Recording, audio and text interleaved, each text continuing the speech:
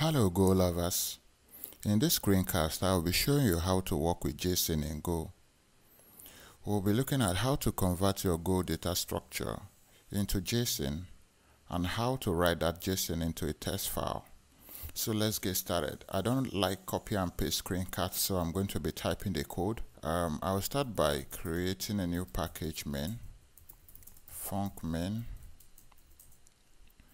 and um, I'll create a new function called check error. Alright if error is not near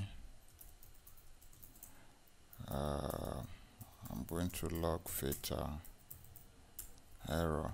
So I, I need the standard package not this one. Beautiful. So the next step is to create a new Go data structure called message type message struct. Title is a string body is also a string. You can add anything here like integer or a slice. So but I'll keep it simple. Let's create a new instance of message. Um, hello world. And body is this is a wonderful message I am sending to you. Alright, now that we have our instance created, the next step is to convert this into JSON.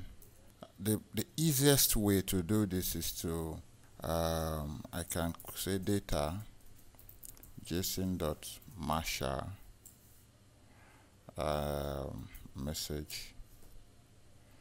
Also this this also returns an error.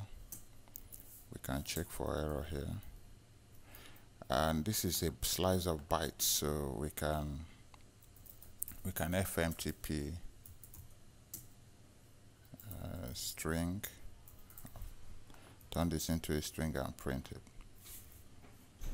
This is one way of doing this but um, as much as this is very simple to do I'm not going to do this. I will show you another way and then I think you're going to like it. There are several ways you can use the data so I will go ahead and create a buffer. Um, new bytes buffer and create a new encoder. Uh, json.encoder new encoder I'm passing the buffer. Right. To we're going to call the encoder to encode our data which is message. Alright now we have the message stored in the buffer and we can choose to dump it anywhere. This is very powerful right? We can put it in a text file we can put it in standard output we can even write it to any object that supports the writer interface. One single reason why I really like this approach instead of the marshalling and unmarshalling approach. So the first place I'm going to send it to is the standard output. So I'll use IO copy to os.std out. And what am I sending? I'm sending my buffer.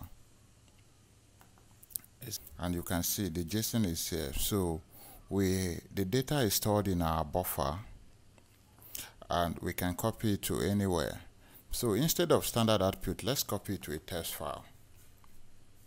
And close this screencast. So I'll create a new test file. os.create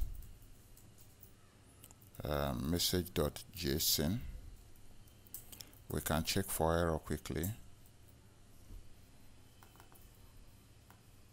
I don't know where this is coming from actually we can check for error. Now that we don't have any error if here we let's assume there's no there are no errors we can defer the closing of the file.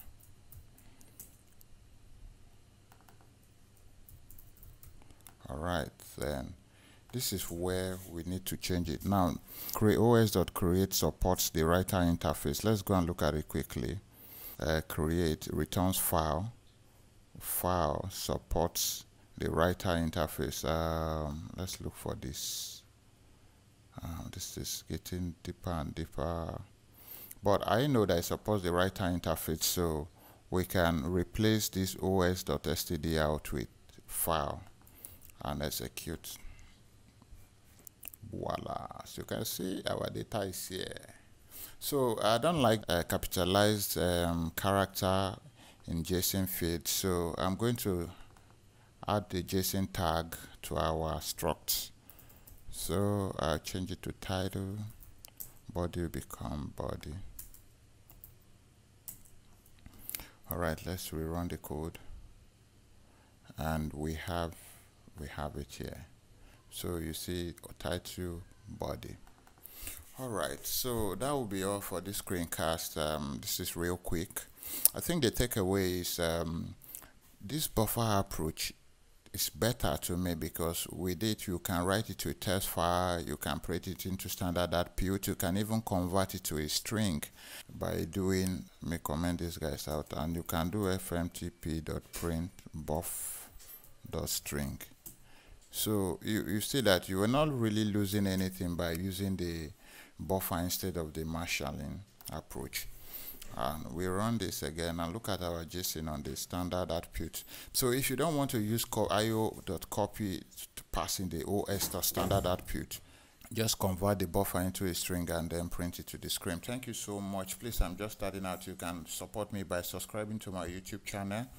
And um, yeah, I'll, every now and then I'll be releasing new screencasts on Go and some on PHP. Thank you.